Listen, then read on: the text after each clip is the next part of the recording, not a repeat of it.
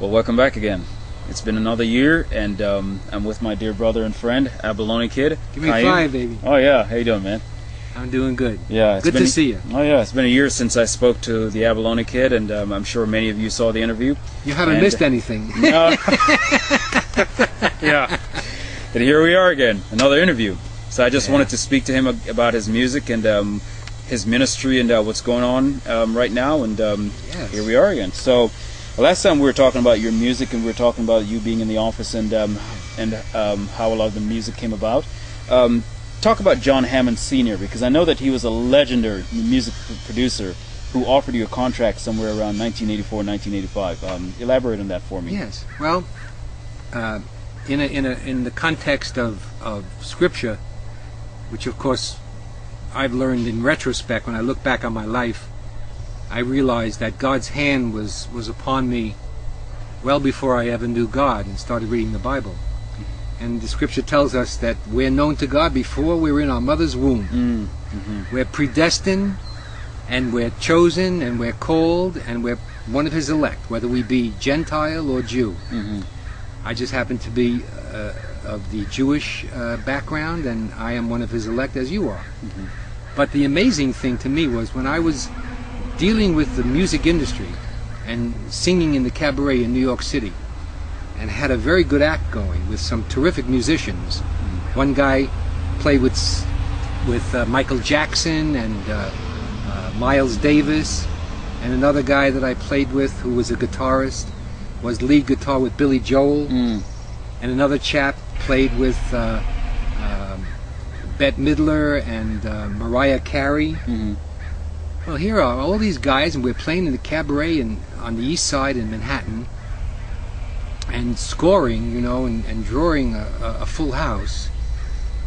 And years later, when I thought about it, I said to myself, this is the most amazing thing. God took me and gave me music and gave me songs to, to write, put me on the stage only to take me off the stage right at the point where I was going to break through Mhm. and let me meet a man like John Hammond Sr., Mm.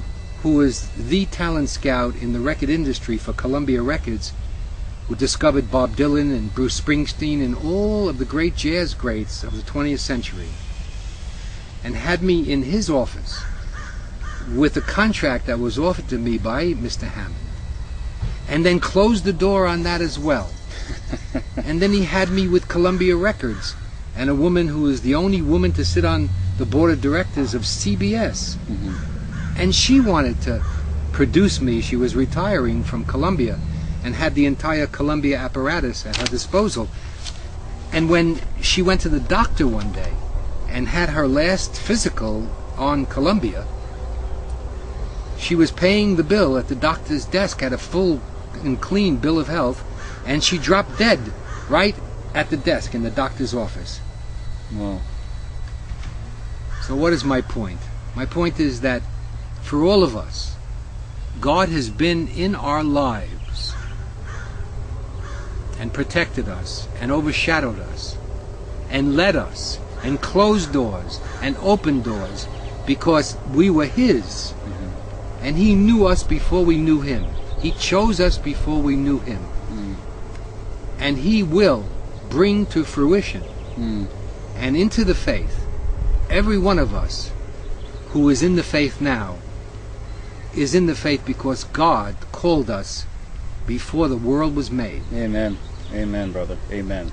So, um, what about the fact that you were a lawyer, big shot lawyer in New York City? How did that go? I mean, how, how did that affect your spiritual life? Um, yeah, this is another, thank you, this is another example of the same principle. So in the law practice, I had the opportunity to uh, to study and be trained to read and spend hours and hours and days in the law library to to uh, hone my mind and my memory in order to be able to be a successful trial attorney, which I turned out to be.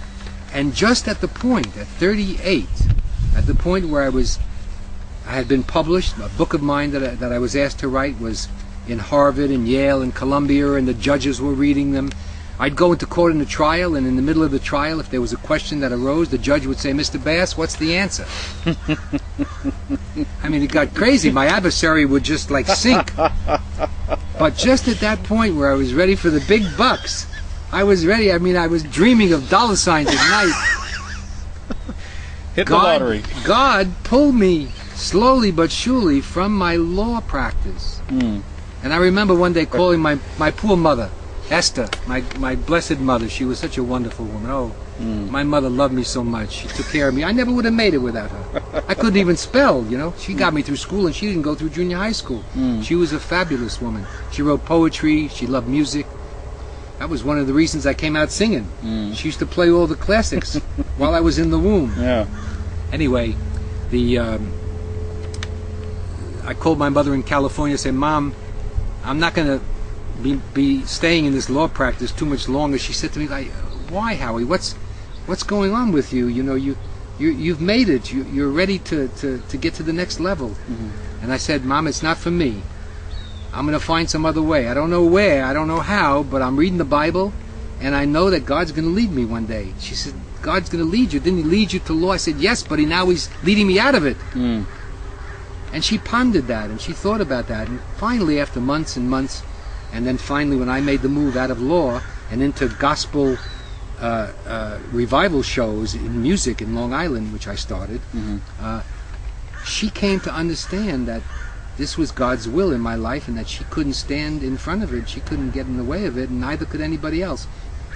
And at that point, my mother, who was of the Jewish faith as well, came over, and she actually started going to church out in California. Praise God. Wasn't that a blessing? yeah. So, so God trained me in the music,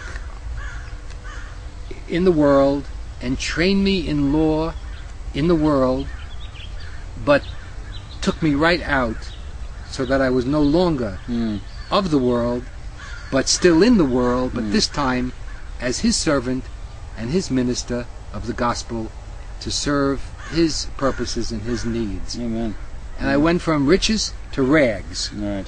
I went from a beautiful apartment in Manhattan to a van on the streets of LA for six years, singing and preaching the gospel, as you know, as we talked the last time we met. Right. It was a I- wonderful experience. So I also know that you had the uh, the homeless ministry, as you were saying, the, where you were able to feed about 80 people a day for what six or seven years or something like that. For a little less than six years, yeah. Mhm. I became I became the uh, the top dumpster diver in LA. If you think Kobe Bryant can jump, you should have checked me out when I was in good feet. and I used to I used to go to Gelson's, which was a fancy supermarket in Pacific Palisades. 5:30 in the morning, I'd pull up there, and I'd grab all this food from the day before that they would dump in in the dumpster, Mhm. and on the side of the dumpster, and flowers, Mhm. beautiful flowers from their florist shop. And I deliver the food and the flowers to the bag ladies and the rest of the homeless in Santa Monica. Sometimes there were a hundred people congregated in the park there on Lincoln and, and Wilshire Boulevard. Mm. And I'd feed them in the name of the Lord, and nobody, no one ever knew my name. They never knew my name because my name was not important. That's right. Only the name of Jesus. And that was a great blessing for me. I did that on and off for six years until they got the crusher. They got a crushing machine that would Mm-hmm. that would ruin all the food, and that was the end of my food ministry. Right. But I continued uh, the ministry. This time, I took it back up to Northern California and stayed on the street, but no longer had the food as one of the vehicles to, to, to make acquaintances Mhm. with. I just walked the streets and, and preached to the people that I met and sang. What was the response? The response was very good. I was I became the uh, the singing abalone kid in Mendocino.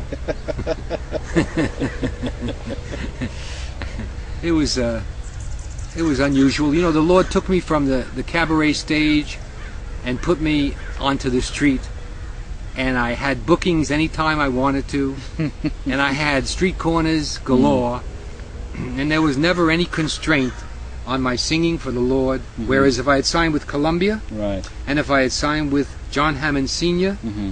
and if I had taken Sid Bernstein, the famous promoter's advice, and gone with him, Mm-hmm. he promoted Lennon and the Beatles and all kinds of acts, Mm. I would have been under contract. Right. I would have been in bondage. That's right. But the Lord delivered me like He delivered the Jews from Egypt Praise God. and put me on the street and said, Here, Howie, this is your stage, and you're going to sing for me now. And you can sing anytime you